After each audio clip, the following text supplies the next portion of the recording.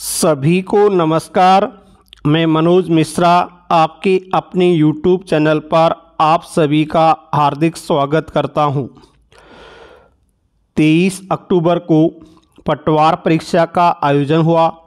इसमें सेकंड पारी में जो प्रश्न पत्र आया था, उसमें हिंदी से संबंधित प्रश्नों के उत्तर हम इस वीडियो के माध्यम से जानेंगे कि हिंदी के प्रश्नों का सही उत्तर क्या होगा। सबसे पहला प्रश्न है, यथाशक्ति शब्द किस समास का उदाहरण है? इसमें सही उत्तर होता है, एक नंबर अव्यय भाव यथा अव्यय शब्द है और प्रथम पद अव्यय होने पर अव्यय भाव समास होगा। दूसरा प्रश्न इसमें, किस विकल्प में विलोम युग्म है? इसमें दो नंबर विकल्प सही उत्तर है। सम्मुख का विलोम शब्द होता है। विमुख, ये सही है। बाकी शब्द हैं, वो विलोम को प्रकट करने वाले नहीं है। सम्मुख, सामने, विमुख, पीछे, ये विलोम युग्म हुआ। फिर है, व्याकरण की दृष्टि से, व्याकरण की दृष्टि से कौन सा शुद्ध वाक्य है? पहला वाक्य है, मैंने इस काम में बड़ी अशुद्धि की। लड़का मिठाई लेकर भागता हुआ घर आया। मैं अपनी बात के स्पष्टीकरण के लिए तैयार हूँ। और राम का वीर गाथा रामायण में है। इसमें तीन नंबर विकल्प सही होगा, मैं अपनी बात के स्पष्टीकरण के लिए तैयार हूँ। बाकी में मैंने इस काम में बड़ी अशुद्धि की जगह गलती होना चाहिए था अशुद्धि की जगह गलती की। लड़का मिठाई लेकर भागता हुआ नहीं, दौड़ता हुआ घर आया, ऐसा होता तो सही होता। और राम का वीर गाथा नहीं, राम की वीर गाथा रामायण में है, ऐसा होता तो सही होता। फिर है अगला प्रश्न। किस वाक्यांश के लिए प्रयुक्त शब्द सार्थक नहीं है? इसमें चार नंबर विकल्प सही है। बारह महीनों में एक बार होने वाला बारह मासा नहीं कहलाता। बारह मासा की जगह वार्षिक शब्द होता तो सही होता।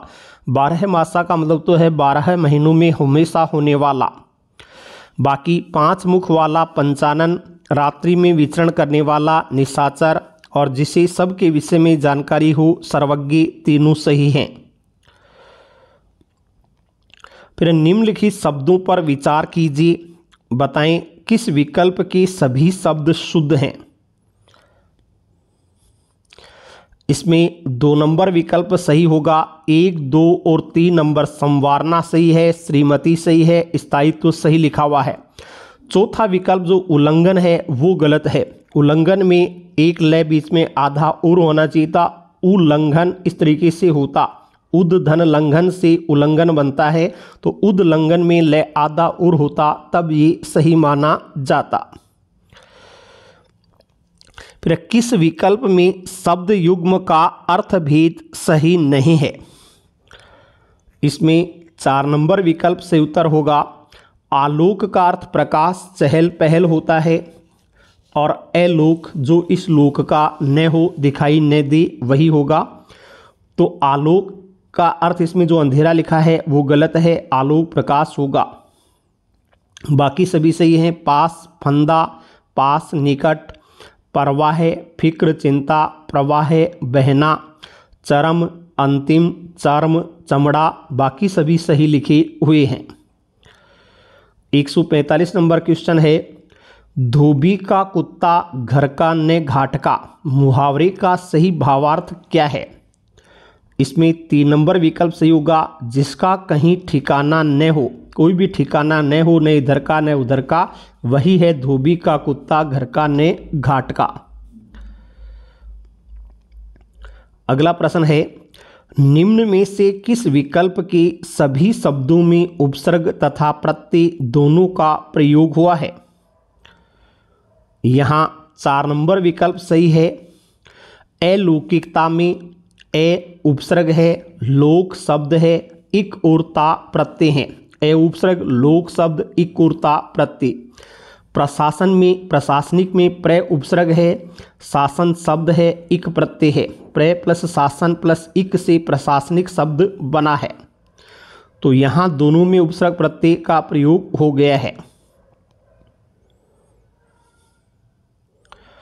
एक किस विकल्प में अंग्रेज़ी पारिभाषिक शब्द का समकक्ष हिंदी पारिभाषिक शब्द सही लिखा है? इसमें चार नंबर विकल्प सही है, प्रोबेशन, परिवीक्षा काल को कहते हैं। प्रोबेशन, जो नई नई नौकरी लगती है तो लगभग दो साल का पीरियड, प्रोबेशन का पीरियड होता है, उसे हिंदी में परिवीक्षा कहा जाता है। 148 नंबर किस विकल्प में फोर साइट शब्द का समकक्ष हिंदी पारिभाषिक शब्द सही है? देखिए फोर साइट का सही अर्थ होता है दूरदर्शिता।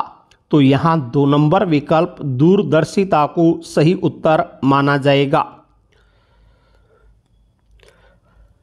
एक सौ उनचास नंबर है, किस शब्द का संधि विच्छेद सही नहीं किया गया है? इसमें हम दो नंबर को सही मानेंगे। युधिष्ठिर का संधि विच्छेद होता है। युद्धि धन स्थिर से व्यंजन संधि के अनुसार युधिष्ठिर शब्द बनता है। तो युद्धि स्थिर होता तो ये सही होता, हो जाता। बाकी सभी सचिव धन आलय से सचिवालय, राम धन अयन से रामायण और नमः धन ते से नमस्ते सभी सही लिखे हुए हैं। 150 नंबर प्रश्न है, किस विकल्प में सभी शब्द परस्पर पर्यायवाची नहीं हैं? इसका सही उत्तर है दो नंबर। पुत्री और सुता, ये दो तो सही हैं, लेकिन तनय का अर्थ पुत्र हो जाता है। तनय पुत्र, इसकी जगह तनैया होता तो पुत्री मान लिया जाता। बाकी रवि, भास्कर, दिनकर, सूर्य के पर्यायवाची हैं।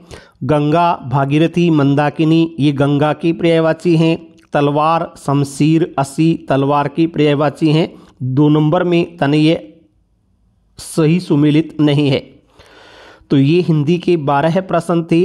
तेईस अक्टूबर को आयोजित सेकंड शिफ्ट की पारी में जो परीक्षा हुई सेकंड शिफ्ट में जो परीक्षा हुई, उसमें आए हुए हिंदी से संबंधित ये प्रश्न हैं। इससे पहले तेईस अक्टूबर फ़र्स्ट पारी में आए हुए प्रश्नों की आंसर की भी डाली जा चुकी है। आप यहीं प्लेलिस्ट में जाकर के उसका अवलोकन कर सकते हैं। धन्यवाद।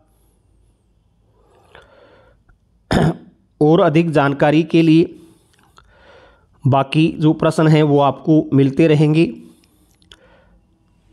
धन्यवाद सभी का।